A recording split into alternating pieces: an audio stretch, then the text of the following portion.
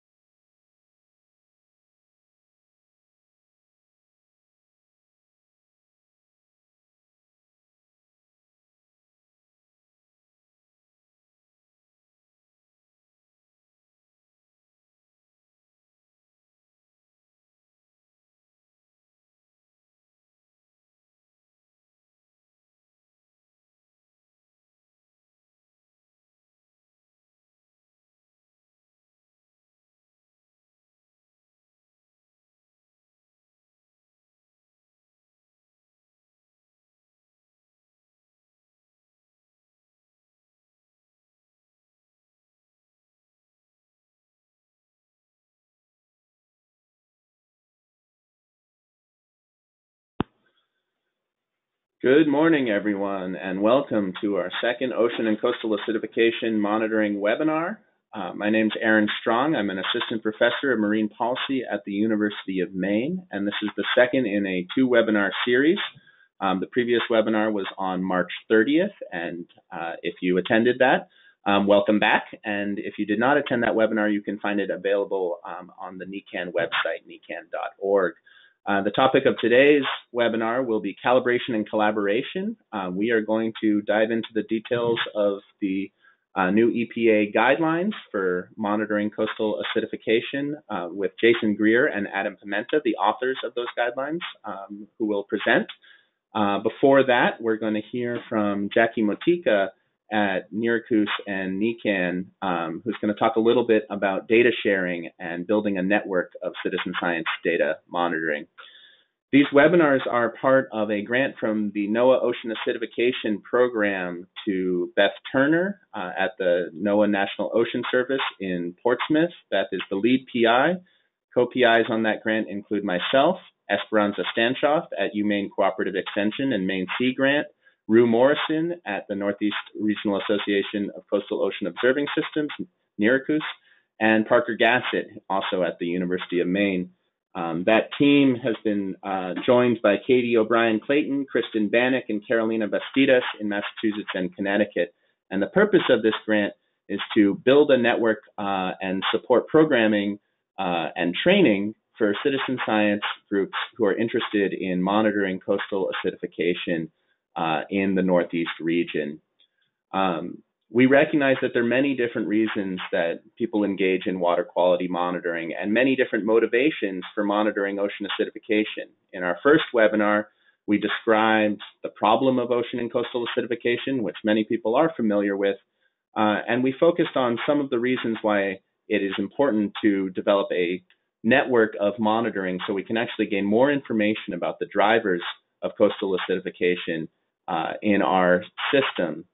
And part of the reason for doing that is that in order to manage, mitigate, or adapt to ocean and coastal acidification, we need to understand its dynamics. Uh, there are many reasons why you might want to monitor acidification. Um, part of a long-term monitoring site, uh, that data is incredibly valuable. You might be motivated by the impacts of acidification on commercially important shellfish species, um, or there might be a specific decision point or water quality decision point that you're interested in informing. And we recognize the diversity of reasons and uh, diversities of sort of levels of monitoring uh, within the audience. Um, the way this is going to work today is we'll have two short presentations. Uh, after that, we're going to leave about 30 minutes for questions and answers. And the way questions and answers work um, is that you type your questions directly um, into the GoToMeeting questions tab that you'll see on the right of your, your webinar screen. Um, we will collate all of those questions and offer them to our panelists. So I will actually read the questions and who they're from to our panelists, um, who will then uh, uh, try to answer them. Um, you know, everyone on the line um, will be muted, but if you'd like to sort of have a back and forth, we can unmute you if that becomes uh, relevant. So please do use the question box.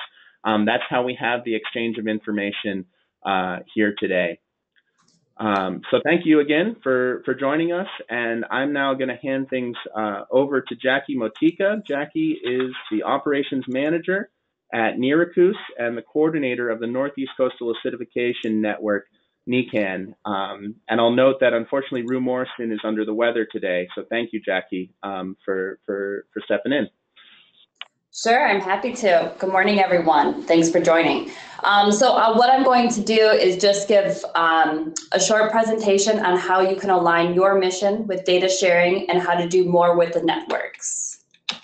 So just a basic overview of how the presentation is going to flow. I'll give a brief introduction of NERACOOS, how to access some of our data that might be of particular interest, and then show some of the results from the survey that we distributed earlier this winter um, and how these efforts can work together.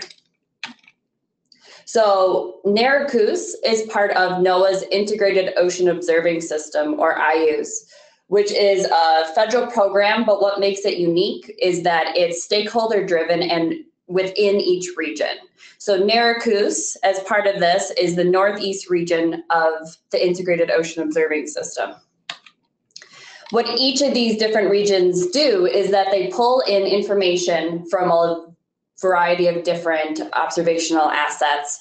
So we have a few here. We have buoys, which we deploy quite a few of in the Northeast, uh, gliders, which are like ocean drones, tide stations, satellites, um, as well as models.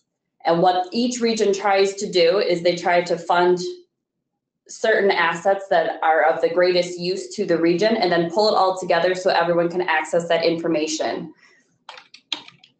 NERACOOS, as I said earlier, is the Northeast region. So we span from Long Island Sound up in through Canada into Nova Scotia. And within the Northeast region, NERACOOS funds a variety of assets. And this is just a quick snapshot. We don't need to go into any of these details, but just to show you some of the different groups that we do fund. And these are the groups that own these these assets and really put out the information. So now I'm going to switch gears a little bit about how to access this information as well as some of the information that some of our partners put out. All of this information is available on the NERACOOS website. And first, I'm going to walk through an example of how to access the real-time data. So this map shows all of the different observational assets that NERACOOS pulls into um, its system. And by clicking on any one of these little circles, you can access the real-time information. So the one I chose here is the Coastal Marine Lab outside Portsmouth, New Hampshire. Um, and I chose this particular one of interest because it's a coastal environment. And you can see here in the data that's displayed, I'm sorry if it's a little tiny, um, Joe Salisbury collects um, CO2 and pH and total alkalinity at this asset. So this is something that anybody can access um, and use to, to benefit their own efforts as well.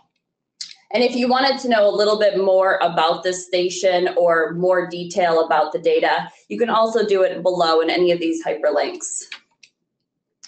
Um, next, I want to just talk about how to access some of the historical data. And there are a few different ways to do this, but I think this is kind of the best way to get a really real-time shot of what's going on in the ocean environment. So I'm going to show the ocean climate product.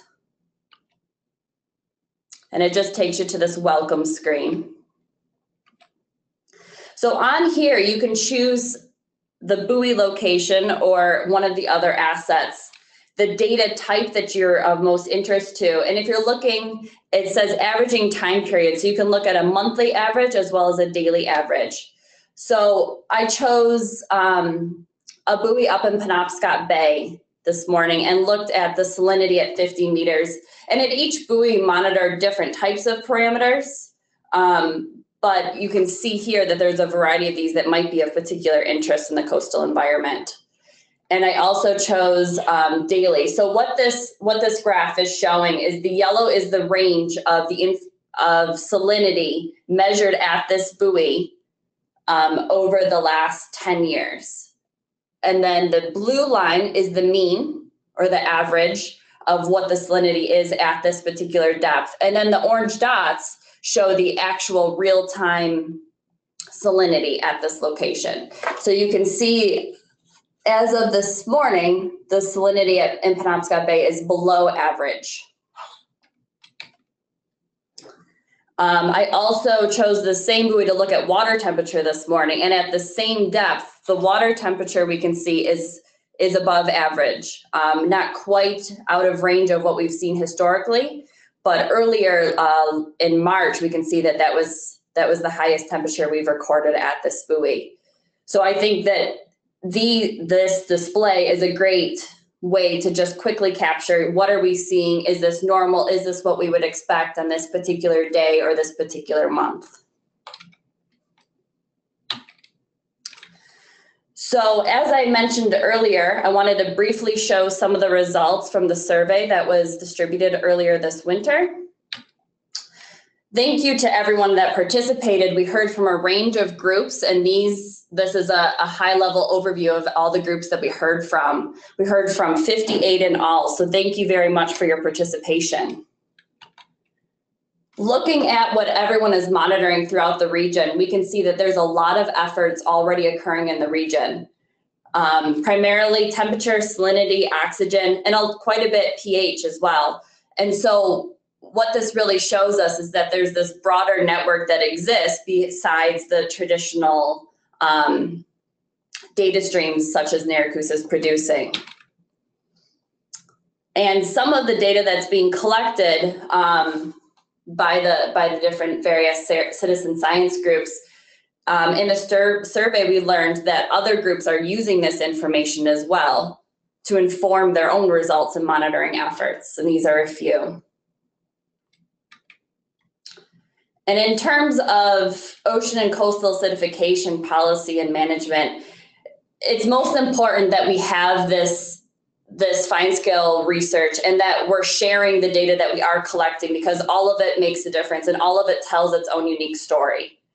So working together with each other, um, bringing these different data types together, we can really start to make a difference and learn more. And a great place to have these types of conversations is on the Ocean Acidification Information Exchange. This is a new website that was recently launched. I have the link above, www.oainfoexchange.org. And what this site does is it allows you to have conversations with anyone that's doing any type of ocean acidification work anywhere in the country um, and even internationally. So if it's about a, if you're interested in a particular topic or a specific type of monitoring, these conversations can be had here. And it's, it's essentially kind of a Facebook for ocean acidification conversations. So I would encourage you all to go on this website Um, and if you have any questions, please feel free to reach out to me at any time.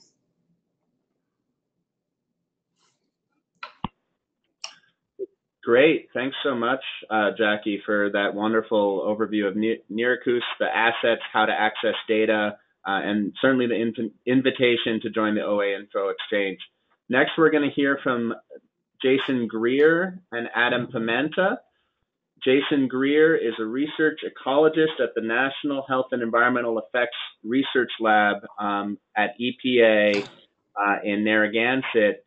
And Jason and Adam are the authors of new guidelines for measuring changes in seawater pH. And Jason's going to give an overview of those guidelines, and then Adam will be available to follow up, and they'll both be available to answer questions about these brand new guidelines. Thanks so much, and take it away, Jason. Thanks, Aaron. Um, thanks for the opportunity, and uh, and thanks uh, thank you to you and uh, the rest of the organizers on the on the mini grant for the patience while we get these guidelines done. Um, it's a little different from a typical EPA research product because it has received agency level review and, and that has contributed to some of the some of the time it has taken. But we're excited to say that we're actually expecting a shipment of the guidelines to uh, here today, expecting a box to appear in the mailroom any minute. Um, so I'm excited to talk about them. Adam Pimenta is also on the line. Um, hopefully he'll have an opportunity to participate in the discussion afterwards. Um, so I want to start right out by um, talking about why EPA is interested in this problem of coastal acidification. Um, probably the, the clearest statement is that we know that sensitive life stages of wild and farmed uh, coastal organisms often occur during uh, periods when when pH uh, reaches its lowest extremes. And that some of the drivers of these extremes and patterns in pH are land based. So, a lot of our activity, my primary research area in EPA is, in, is under the National Water Research Program. So, most of our uh, most of the EPA activities related to this problem right now are are um, linked to the Clean Water Act and that means that uh, our research is intended to inform how some of those land-based drivers might might be used to uh, to as to respond to the problem of coastal acidification. So then, uh, a major third point is that uh, there are big sampling gaps in the observing programs. Um, so there are observing programs that are out on the coastal shelf, but but further inshore, the the observing efforts are much more distributed and and also therefore much less uh, well linked together. Um, fewer of the large uh, federal observing programs cover those areas. Um, so uh, hopefully, at least those of you that uh, listened in on the first webinar, hopefully a lot of you have seen this figure. Um, and I, I, basically, this is our understanding of this is a this is where a lot of our concern about ocean acidification comes in. You can see the the the red line is the atmospheric CO2, and then the blue line is the partial pressure of CO2 in surface water. This is um, at the Mauna Loa and, and nearby ocean waters, uh, Mauna Loa Station in Hawaii. And then the green line shows the declining pH. So this is what we're actually seeing in the ocean. In the coastal environment, we don't really know, we don't have a, that, a similar similarly clear idea of how coastal acidification is changing pH. And right now, they're even even distinguishing the difference between these scenarios or distinguishing between these scenarios in the coastal environment is difficult. We don't know, for example, in a particular coastal site whether will expect pH to just simply be lower all the time than it would be without coastal acidification, or if the extremes in pH, the the the the red line in the middle plot here, whether whether that's the scenario, or whether we just have a larger amplitude in the swings of pH. And the reason why these complexities tend to exist in the coastal environment is basically because of all the biological activity. It's much more biological activity in the coastal environment, and we really don't have a clear idea of how that's going to affect pH patterns or, or patterns in coastal acidification. So just looking at an example of some data from uh, the, the, paper by Wallace and others came out a few years ago. Um, these are data from Long Island Sound, and in the top panel, you can see pH variation. The dark black, the, the heavy black line is the pH variation over over two years. You can see the strong seasonal pattern in that variation. And that's at the western end of Long Island Sound, where there's much more nutrient enrichment. at the eastern end of Long Island Sound, you, you see a much flatter dynamics. Uh, the the amplitude of that seasonal dynamic is much lower, and and also notice that on the the, the scale in the pH is on the NBS scale, which is the same scale that one would normally use with a handheld pH meter.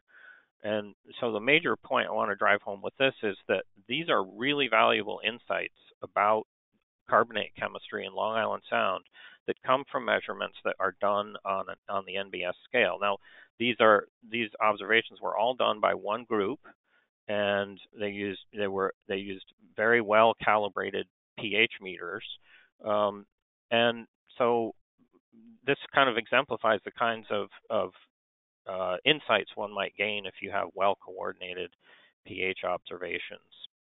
Um, so the other point I want to want to draw your attention to here is that the oxygen patterns are also shown, and if we if we have data like this, we can begin to ask questions like how much of this dynamic is driven by the biology within the coastal environment, and how much of it is driven by influx of, of water from the ocean. Um, when you start to see um, dissolved oxygen and pH tracking close together, it, that makes sense because uh, the consumption of dissolved oxygen produces CO2 that drives pH downward. But if you start to have more contribution from ocean acidification, from waters coming in at the boundary, you might begin to see these see different kinds of patterns between pH and dissolved oxygen.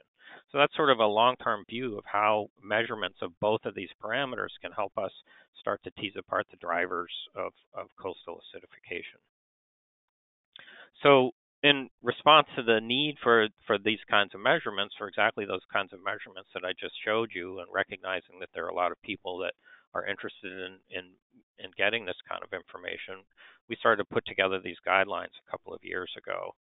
Um, and uh, the the main purpose of the guidelines was to to basically to give an overview of available approaches. Um, it's too soon to be prescriptive about exactly what kinds of approaches are always best at every site.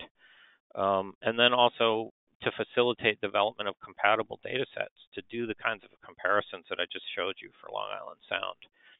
Um, and the audiences uh, are basically shellfish hatcheries, growers and harvesters, citizen scientists, and but as, but also laboratories interested in expanding their their maybe they maybe a laboratory has an existing water quality monitoring program and wants to just expand its capability to include carbonate chemistry. So when we started putting these together, um, you know, it was obvious that there were there were already some existing very good guidelines about how to do this kind of work. Um, and three of the important ones are shown here. The one on the left is the Dickson Handbook, Dickson and others. Um, the one in the middle is the one from Europe. And then this third one uh, over on the right is from the California Current Acidification Network, or CCAN, which was, I believe, the first CAN, the first coastal acidification network that, that I, at least that I'm aware of. So here are these three um, documents, and that first one uh, is basically focuses on measurements, and it, it is also pretty heavily focused on doing highly precise measurements in the open ocean. Some of these methods go back many decades and were refined by people interested in in uh, global carbon budgets and, and ocean exchange with the atmosphere. Has very concise standard operating procedures very concisely written and therefore not incredibly detailed in terms of the kinds of situations that a specific laboratory might run into.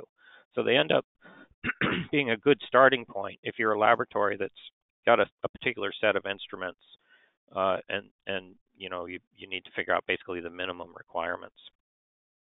The one from Europe focuses on basically on methods to use in laboratory and field experiments but it has a, a very good discussion of uncertainty for, for different measurement options. And then this third one from California um, basically the way I look at that one is that because of its geographic focus, it, it did allow a, a, more prescriptive approach in developing recommendations, and they grouped those recommendations into principal recommendation. That's basically the one they want their participants to use, and then there are more economical or cheaper alternatives, and then the cutting edge ones for groups that might be collaborating with with uh, university researchers, for example. But but importantly, that uh, that that very important document acknowledges the challenges of, of applying some of these methods on the U.S. East Coast, and um, as I mentioned, a lot of the challenges in, in going from an oceanic environment to a to an environment like the East Coast, where we have lots of rivers and different sort of alkalinity considerations, lots of enriched systems. we have these other factors. All of these factors are important, you know, everywhere in terms of carbonate chemistry, but their relative importance on, on the East Coast is different, for example, from the West Coast or, or from the Gulf of Mexico. So this is just showing you the table of contents from from the guidelines document. Um, and just as an example, the factors contributing to acidification is broken down into these, and each of these there's a paragraph or two just giving a basic overview of each of these factors. Um, and then we give an overview of the seawater carbonate system. It's the same type of overview that's contained in all of the other documents that I just mentioned, perhaps a little bit more relevance to the coastal environment. Um, uh, I think what a lot of people might find useful is the detail that we get into on collecting bottle samples. There are SOPs in the in the Dickson document for how to collect a bottle sample, but we just take it to a, a more detailed level, getting into cleaning, different types of bottles that one might use, types of sampling equipment that you can use, that kind of thing. Um, and we have a in, included in the guidelines. We actually have a checklist that's intended to kind of help people develop their field protocols um, for each of the steps and considerations for collecting a bottle sample. Um, our work here tends to be very focused on bottle samples rather than field sensors. So we were in a bit more position to, to offer insight on, on, on those practices. Um, we also have an overview of sampling concepts and, and, and uncertainty concepts with figures like this one, getting into the difference between precision and accuracy. You know, one of my sort of mantras is that a poor measurement with good documentation of uncertainty is, is better than a great measurement with no documentation of uncertainty. Um, and this tries to capture some of those concepts. We also talk about data quality objectives, and that's basically derived from the this uh, website here down at the bottom right, the Global Ocean Acidification Observing Network. Um, we borrow heavily from that. This is a, a screenshot directly from that um, uh, website with these with emphasis added here. Um, with the main point being that climate quality data refers to data, measurements that are intended to assess long-term trends with a defined level of confidence. In other words, multi-decadal timescales. Whereas weather quality data is more like the types of data I showed you for Long Island Sound that allow you to look at patterns, short-term patterns, patterns within a system, seasonal patterns, that kind of thing, spatial patterns, and so on, and and and facilitate understanding the drivers of those patterns. So even if your your interest is interest is in ocean acidification, weather quality observations can be useful for understanding the mechanisms of ocean acidification and then to just uh, take some of the information from the GOA-ON website and, give it in a tabular form here. So the way they describe uncertainty is they describe them in terms of the objective of estimating carbonate ion concentration uncertainty, this top row. So the weather objective would be, the weather, the weather data objective would be to estimate uh, carbonate ion uncertainty uh, within 10%, or to estimate the, the the concentration within an uncertainty of 10%. And then the climate quality objective would be to do the same thing within 1%. And, and so, in order to achieve those objectives, and let me just say briefly that the reason why carbonate ion concentration is is important is it's it's one of the components of the carbonate system that is extremely biologically important because this is the the the component that relates to things like um, the avail availability of raw materials that marine organisms use for building shells and other structures. so, so in order to achieve those levels of, of certainty, your pH measurement would be need to be, would need to be made within 0.02 pH units. But for the climate data quality objective, you would need an uncertainty of 0.003 or better. Um, so that's quite a big difference in uncertainty there. And then for doing alkalinity and DIC measurements um, of the sort that you would do from bottle samples, um, you can see here that that the uh, tolerated uncertainty for weather for the weather objective is five times larger than for the climate objective. Um, and then the sort of the the ability to do these kinds this kinds of work is shown in these bottom two rows according to um, this document the uh, you know the weather objective is achievable for competent labs um, and and uh, and then for autonomous sensors it, it, can only be done with the very best uh, of the autonomous sensors. And then um, for the climate quality objective that's even fewer labs that are capable of reaching that objective and the autonomous sensors are very rarely suitable for that. Um, okay. So um, this is a table from the guidelines that we developed from from some of the documents that I mentioned, sort of collating information. And you can see here, uh, as an example, just looking at the top row. Um, so for an estimate of total pH that's done on a spectrophotometer, um, you can expect a measurement of uncertainty of about 0.005. And when you combine that measurement with uh, a measure with some of these other measurements over here on the right, the numbers in the boxes give you the relative uncertainty for estimating carbonate ion concentration. So what you're looking for on a table like this, if you're trying to figure out, let's say you're in the position to do two parameters in your observing program, you're looking for the lowest number in this table.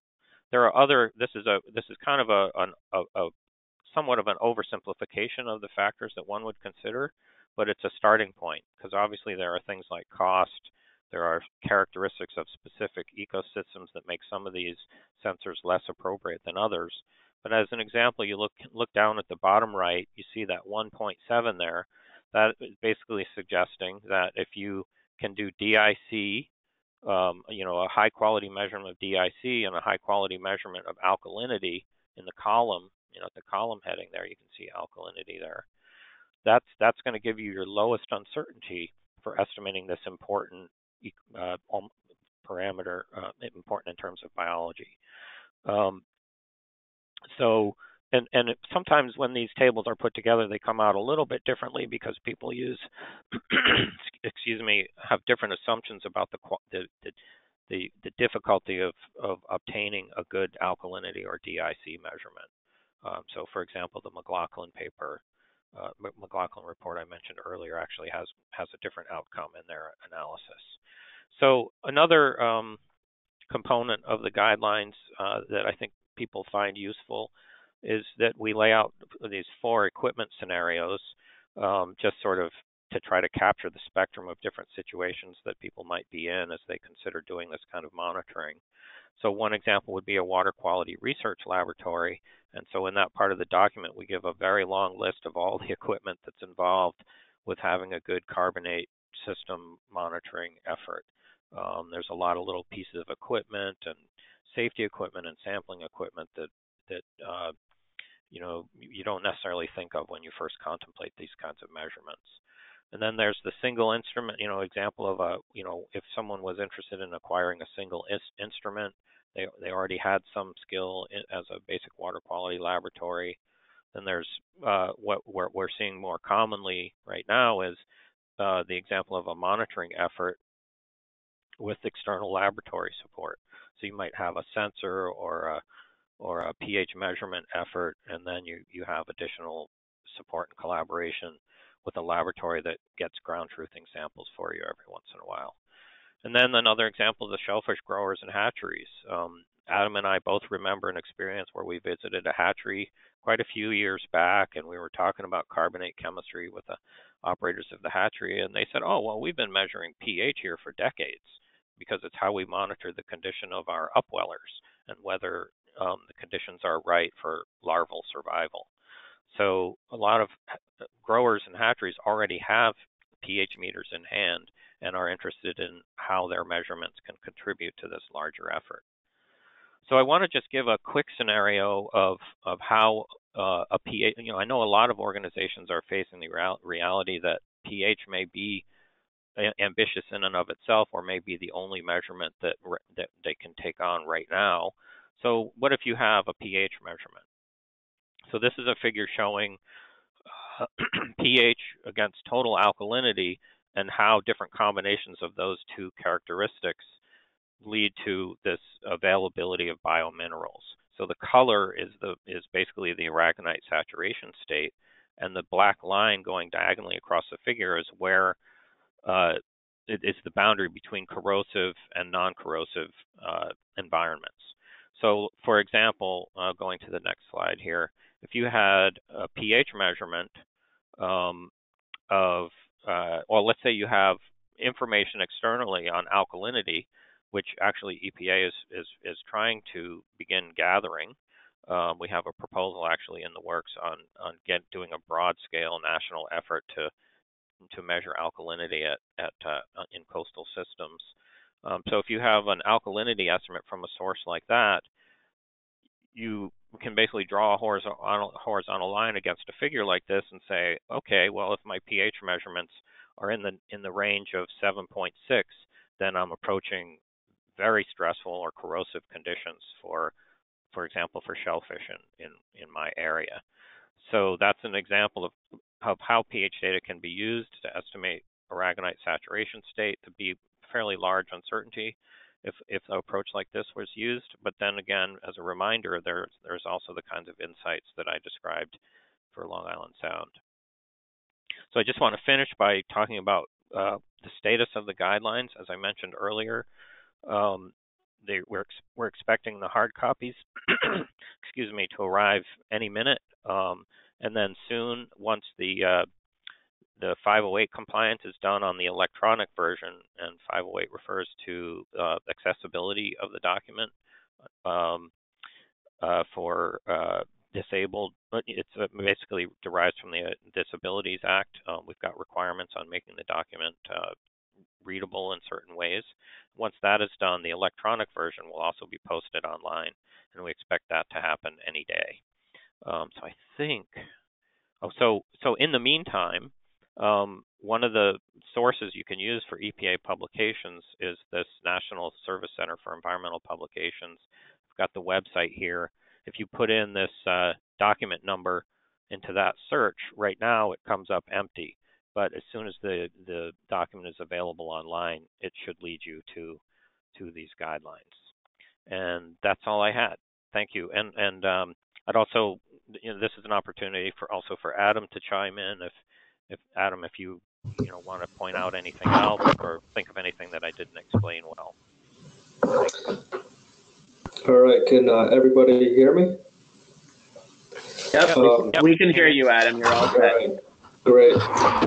Um, so my name is Adam Pimenta. I've been working with Jason Grear measuring parameters of the seawater carbonate system, uh, primarily in Narragansett Bay. We've also been measuring biological activity in nutrient concentrations and looking at the relationship between those and the seawater carbonate system. So, as Jason had mentioned, these guidelines are meant to be a resource for learning about and performing measurements of the seawater carbonate system, uh, especially as they relate to coastal acidification. And because the state of the science is changing so rapidly, and there also exists a wide range of acceptable and tested procedures. Uh, this document is not meant to be prescriptive. So the purpose that we hope to to do is to give an overview of available sampling, analytical, and data reporting approaches that will contribute to the usefulness of coastal acidification measurements.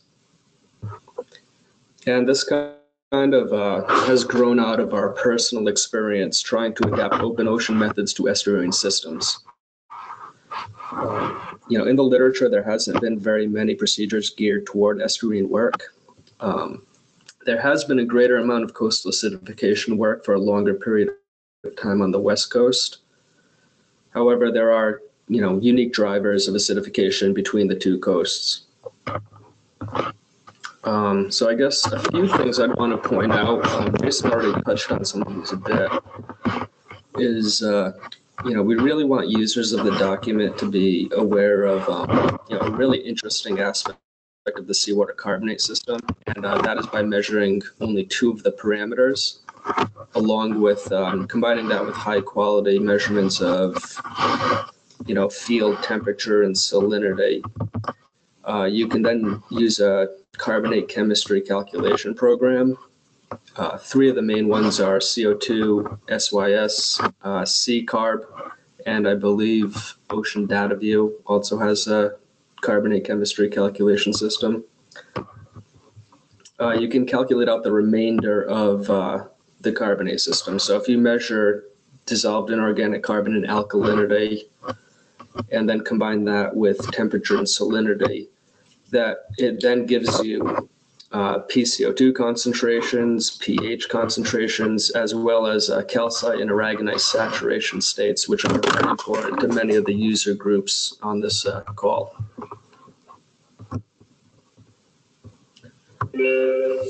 Um, so Jason had mentioned the uh, bottle sampling checklist, and that's that's one area where uh, this document seeks to facilitate the development of you know, a more uniform methodology. Uh, bottle sampling, collection, and handling is one area um, that is within reach for almost all of the potential users of this document. It's an often overlooked part of water quality chemistry.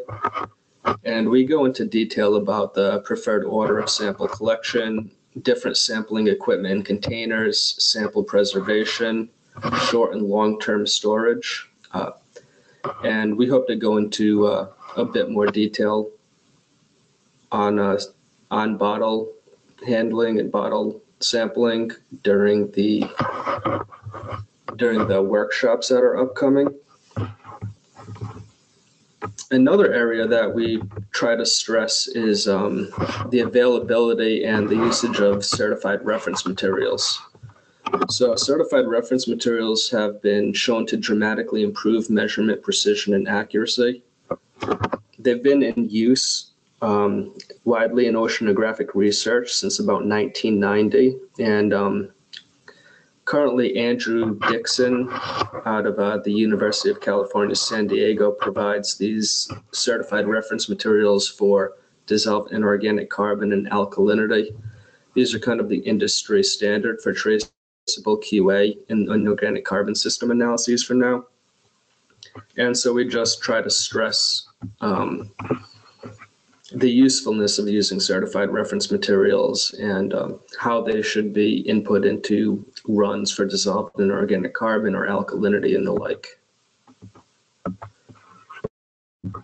And uh, then this document gives an overview for each parameter to uh, be measured. And this shows the uh, pluses, the minuses, the equipment needs, and other considerations you know, for example, there's an overview section for colorimetric DIC analysis as compared to DIC analysis using infrared detection. You know, for me personally, prior to writing this document, I didn't quite realize how crucial temperature control was um, for for all the different analyses in the labs, and so that's something that we've really uh, tried to improve at our lab. And for each of these uh, for each of these parameters to be measured, we go over the background and description of the method, as well as the history and supporting documentation, um, benefits and disadvantages, including method precision, um, what the expected analysis time is, um, estimated unit costs for the lab equipment, what supporting documentation is out there, the availability and identification of certified reference materials, and other method-specific concerns. So, um, yeah, I will, that's about all I had to say on the document for now, so I will uh, mute my microphone and listen in. Great. Thanks so much, Adam, um, for going over the details. And, and the, one of the questions we've gotten the most of, as I'm sure everyone can imagine, is uh, how to access these documents. Um, Jason covered that at the very end of his uh, talk. Um, but we just want to emphasize that as soon as that link is active, we will send an email to everyone who's registered for this webinar with that link. And again, it should be in the next few weeks because there's a tremendous amount of interest uh, in these in these guidelines.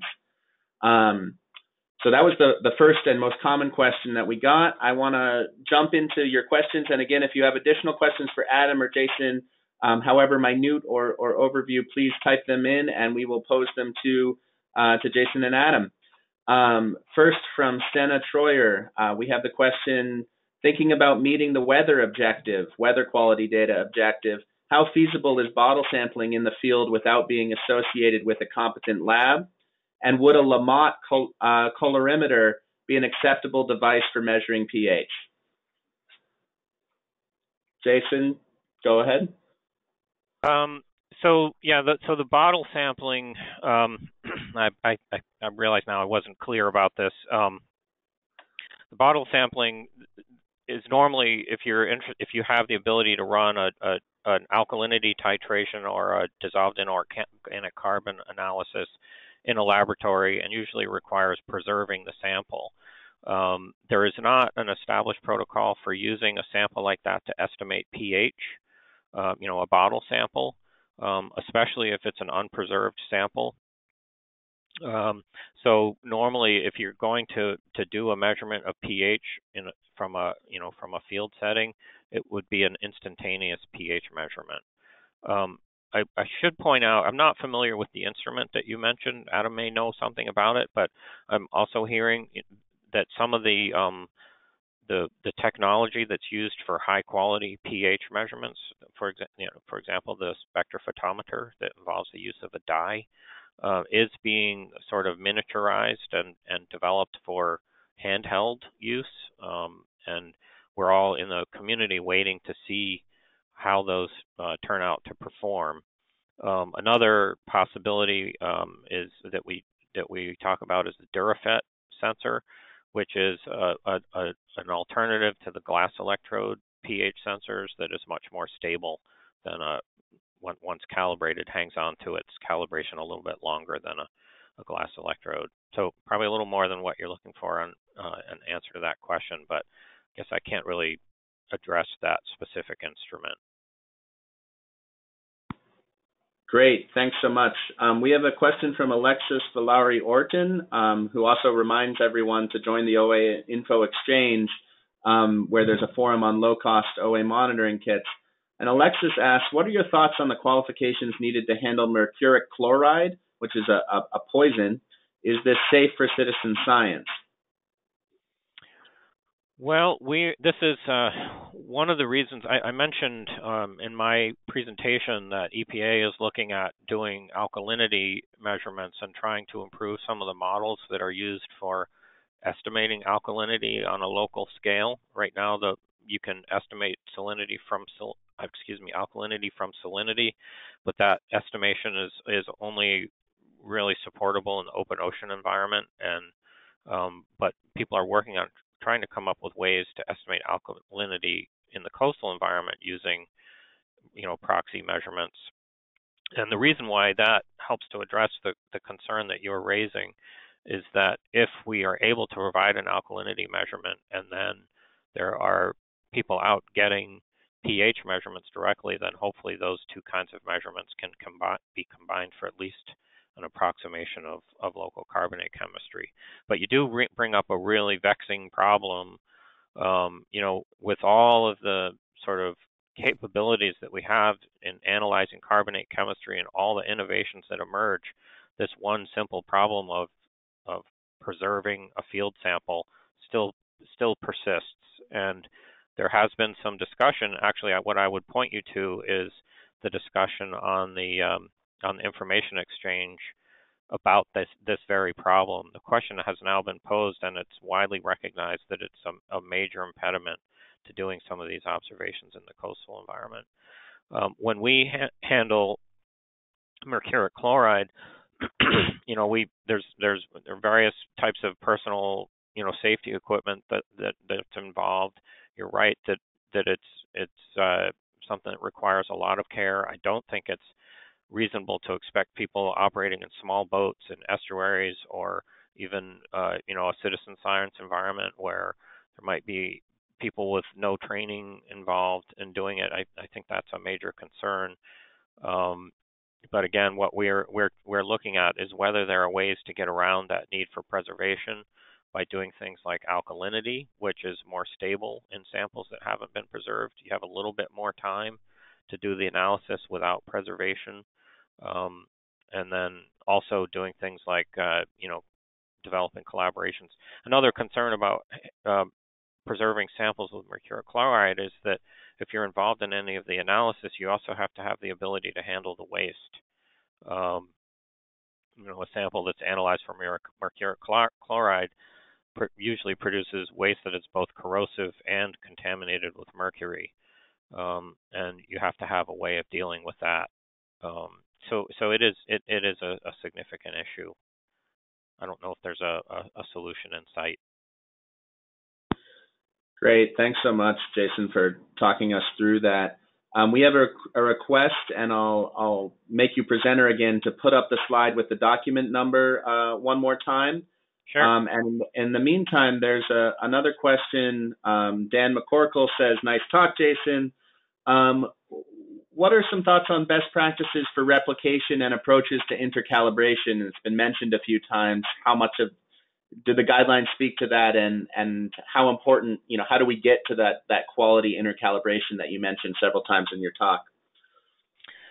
Uh, yeah, that's a great question. And well, first, maybe start by Oops, hold on a second. Let me show my screen here. Um, can you guys see that? Oops, what? Hold on. Okay.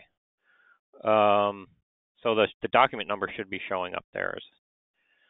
Um, so that is, I, I, I kind of see that as sort of the longer term objective of this whole effort, um, including the, both the guidelines and the workshops and these webinars, is to sort of set the stage for that kind of thing. The closest we get to that issue in the guidelines is to talk about the importance of using reference materials, um, you know, to make uh, some of the bottle sample analyses comparable uh, between uh, different monitoring programs. But as far as um, how to how to achieve that, um, how to do intercalibration, um, I'm afraid we're uh, we're kind of silent on that. I think, uh, but that is the direction that I think everybody wants to go, and we hope that um, these guidelines help make that happen, as, as, well as the workshop. So sorry, Dan, that's not a great answer. Great, and th- thanks for that. And I'll just note that part of the goal of this um, grant from the Ocean Acidification Program that's putting on these webinars is to build a community of practice both through the OA Info Exchange and in the Northeast region, um, so that we can start connecting research labs, citizen science groups, and hatcheries together, um, both through future upcoming workshops, but as, as well as just getting to know some of the other people who are thinking about this because of how important that is for laying the groundwork for effective um, intercalibration. We have a, a another follow-on question. Um, the required uncertainty for pH measurement needed to accompany unpreserved alkalinity bottle samples. Um, it's a pretty precise question. Any any thoughts on sort of for unpreserved alkalinity bottle samples, uh, what's required for for pH measurement? Um, well, it would still, it, it, it's kind of the, the the uncertainty objectives are kind of independent of the method. If if if your goal is to achieve a, a, a, certain level of uncertainty, if you can do it with a bottle sample, go for it. But I think that you know the consensus is that that's pretty hard to do. Um, in other words, like for example, to know how good your bottle sample is, you have to know what the pH conditions were in situ where you grabbed that that pH sample. Um, and, and, and you know to sort of be able to assess that methodology. Um, so I'm I'm we we generally don't do that kind of thing. We don't grab bottle samples and then and then do a pH analysis unless we're grabbing the bottle sample literally here in the lab. Um, you know, sometimes we have experiments going on with our flow through seawater systems. We'll grab a, a, a, a sample for pH and run it down to the spectrophotometer and run the analysis. Um, but ideally, I, I, think that the problem of you know the instability of a pH sample um, is better addressed by um, using methods that do an you know an instant like a handheld Durafet or a very very well calibrated glass electrode or some of the uh, you know commercially available autonomous sensors. Um, and then of course there's the problem of you know once you start getting into lower salinity waters, say below 20 parts per thousand, getting a good pH measurement becomes even more difficult, and that starts to put you into the realm where you want to be considering other other types of measurements like a, C, a PCO2 measurement, at least for now. Um, there is work underway um, on sort of standardizing some of the pH measurements and and developing, um, you know, the you know NIST criteria or NIST, uh, I forget what that stands for, the Bureau of standards, basically criteria for uh, for measuring pH. But um, yeah, I, I, think that um, the, the, you, you have to think about the the weather and climate objectives of, as being independent of the actual method. Great, thanks so much. We have a question from Jason Masteres, um, who says, I already have a YSI 5200A with pH and dissolved oxygen I can put into service as a continuous measuring platform at either my hatchery at the other end of Long Island or at another hatchery on the north shore of Long Island. Is there an initiative to purchase more flow through sensors to deploy at sites of interest? Well, as far as what EPA is involved in, um, one of the things that is is underway is that um, EPA has been providing capital support to some of the national estuary programs who are who have expressed interest in monitoring pH at their sites. So those national estuary programs are fairly few and far between. But um, I would also add that um, NOAA um, has a, a, a, very extensive network of national estuarine research reserves, and they have a, a, kind of a more standardized protocol for measuring pH. They've been doing this for a number of years, um, and I think that a lot of their sites use instrumentation that's not terribly different from what you just described. Um, so that's another thing to look for is to look at um, where the National National Estuarine Research Reserve sites are in relation to where you are. Um, but as far as uh, efforts to install, you know, monitoring assets like, um, you know, the the buoys that you sometimes see at the mouth of an estuary or whatever, um, that's just kind of case by case. Um, I'm not aware of a large concerted effort to increase that kind of instrumentation. Great, thanks so much. And we uh, we had a couple questions for asking for clarification on these workshops that have been referred to, and I can jump in there. Um, there are state-based uh, training workshops that are being set up for groups based in the Northeast in Connecticut, Massachusetts, and Maine that are actively engaged this summer in water quality monitoring and are interested in getting additional training. Um, I think some people on the call have already been contacted about those workshops. Um, but if you would like more information about those, the sort of next phase of um, sort of uh, direct and more intimate training um, on the guidelines, uh, please reach out either to myself, Aaron Strong, that's A-A-R-O-N dot S-T-R-O-N-G at maine.edu, or Parker Gassett, P-A-R-K-E-R dot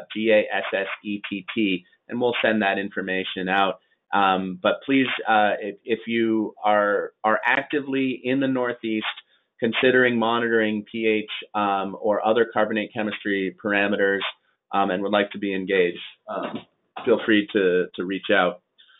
Um, so we're almost at 11 o'clock, and that is the, the, the sum total of, of questions that we've received. I want to recap a few things.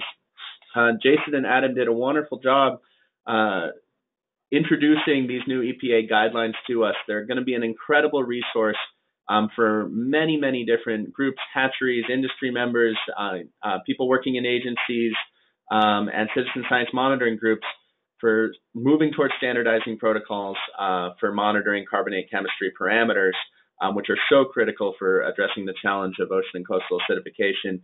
Uh, as Jason said, they'll be released soon. Um, we expect very, very soon. And as soon as those are publicly available, we'll make them available to uh, everyone who's um, been on the webinar um, by providing the link to you.